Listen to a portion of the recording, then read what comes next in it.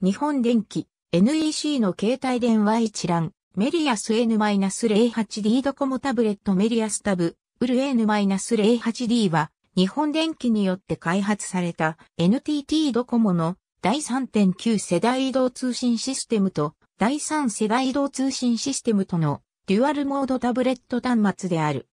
ドコモタブレットの一つ。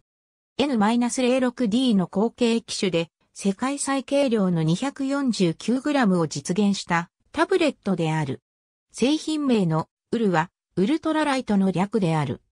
ちなみに N-06D 同様 NEC、カシオモバイルコミュニケーションズではなく NEC 本体が製造、開発している。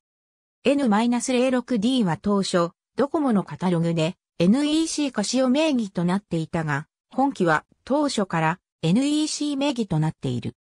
メーカーのウェブサイトも NEC 本体側、1日 ware.com ではなく NEC カシオ側、NEC モービレにある点、タブレットでありながら、通話機能と受話口を備える点も N-06D と同様。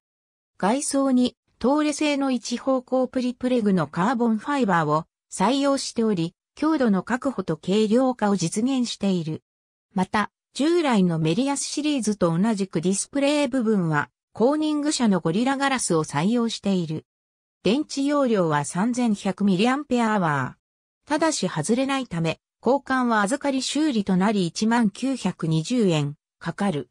ただし、N-06D と違い、NotTV、防水、赤外線通信、お財布携帯には、非対応である。ありがとうございます。